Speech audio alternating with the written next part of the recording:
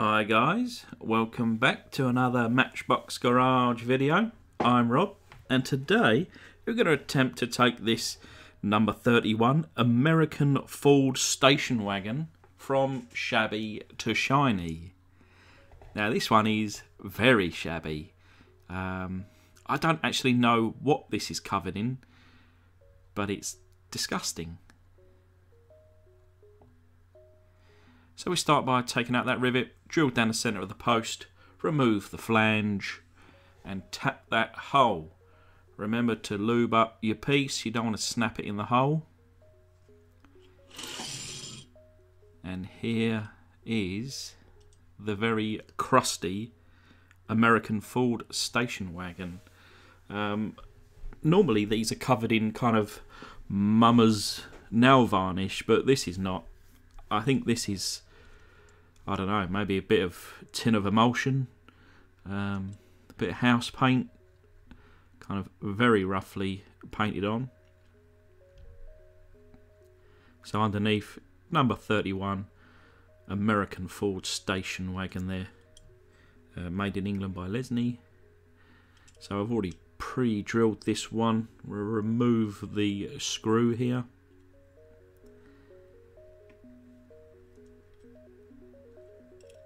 And you'll see that it just kind of come off at the back there because this would have had a tow hook which is obviously broken off um, and is long gone.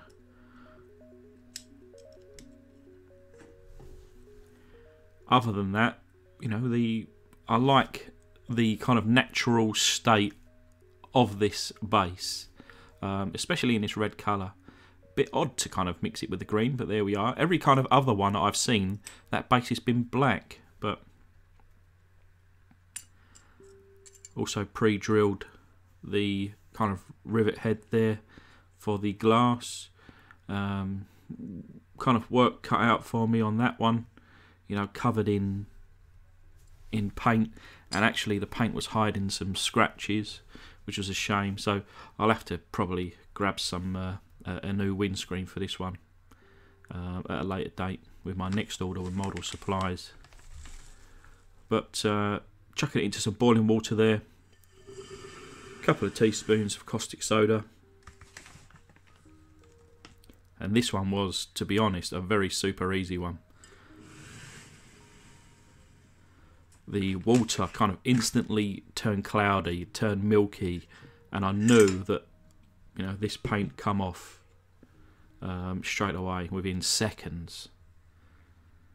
And here we have it just a couple of minutes later and not a single um, kind of remnants of paint remains uh, which I was very happy with. But we're going to polish it up using my uh, fake Dremel here which the switch broke. And as you can see because I'm a super duper engineer I've put on a new switch. Didn't it suit it perfectly? Um, but here's the car now. Looks as good as new. There were some very heavy scratches to the top, uh, which I managed to take out 99% of them. Um, I still need to get myself some more kind of sandpaper or emery paper uh, just to make this job a little bit better. But we go with the Tamiya fine paint here. Trying to grab as much as the inside as we can. And then just a single coat. There's quite a lot of detail uh, in that front grille, but also around the back. Um, so I try not to put too much paint on because I'm going to be, because this is a two-tone car, I knew that I'd be adding an extra colour uh, cover of coat, uh, cover of paint rather. So I didn't want to put too much on at this stage. Uh, but as you can see in the light there, you know, beautiful finish. Obviously it dries um, in a matte finish. Uh, but for the top, I'm going to go with the this this white here enamel um, with kind of I used a, a lollipop stick to dip it into that cream it wasn't it wasn't just a you know it was just a tiny amount um, and then of course you got the uh, green there for the rest of the car um, the same green that I painted the Ferrari Berlinetta in recently. But I'm going to cover the car in this kind of off-white now. Um, I wanted, obviously, the top and the pillars painted in this colour and then I'll mask it and come back with the green.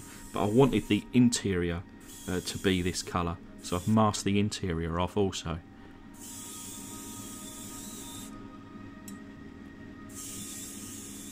But it went on relatively easy, as I always find with these enamel paints.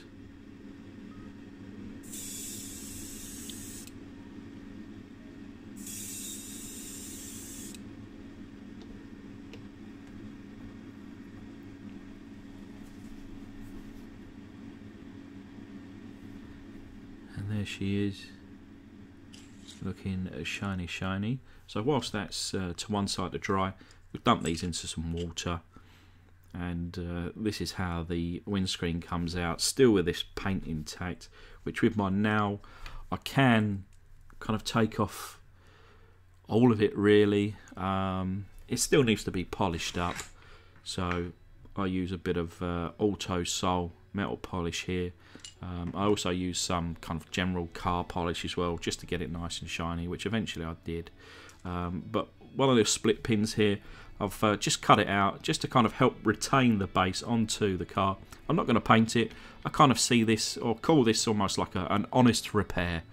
Um, you know, it's done its job, but I'm not trying to hide it. And then what I'm going to do with my uh, wire wheel there um, is to polish up the wheels and the axles. There was a little bit of rust uh, just to make it roll a lot, a lot easier.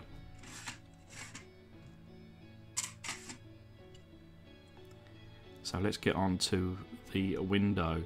Uh, just as a little kind of a reminder to wear your safety goggles. Put a bit of polish here. Went to polish. It went everywhere. And uh, thankfully I saved my eyes because I wore my goggles. Now back to the base then. So looking shiny. Yeah, it's missing a few bits of paint, but bear in mind it is underneath the car. You can't see that. Um, and when someone picks it up, they realise it's just a, you know, a restoration attempt.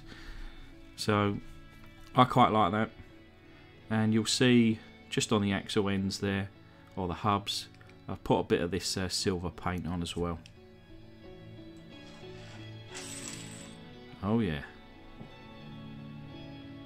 Now she's all masked up. The inside's masked. Obviously the top's masked. And now I'm going with this green paint.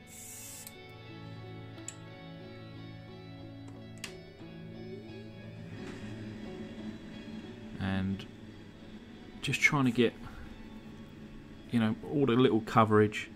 See, as I'm moving that masking tape, like I say, I wanted to keep the inside of the car uh, that creamy colour and literally just hit the outside of the car and just you know underneath the uh, wheel arches there.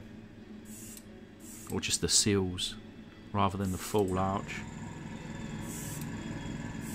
But trying to put on as light a coat as possibly can this stuff comes out at a rate of knots. So it's almost uh, very difficult to of put on a tack coat um, I did finish off with perhaps three coats with this.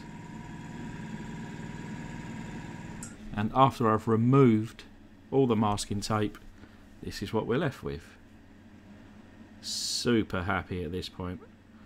I was, uh, yeah, quite excited. So it's the following day. It's been about 24 hours. There's the uh, base, which I'm happy with. The glass there, back of it was lovely. You can see there's a you know a couple of little scratches in the front, but you know we accept it. Now I'm holding this a bit gingerly because even 24 hours later, that green is still a bit tacky. Um, but you know I'm going to get this together now, and as a reminder of the state that she was in and the result. Now the eagle-eyed amongst you will notice I've also added a little bit of silver paint to the front end there kind of covering the lights in the front bumper. Um, I tried to, well, I did Google, um, you know, how to paint that front end, and I didn't get a perfect kind of picture. They're all blurry, um, but I felt I did what was right. You know, I, I think I copied what it should be, but I'm happy with that anyway. But I just want to take this opportunity to thank my Patreons, Wheels and Things, Bit of That Cast, Nick's Toy Garage, Mark Dandridge, and Rick Bryan. And of course, thank you guys for watching. Hopefully, you'll stick around for the next one.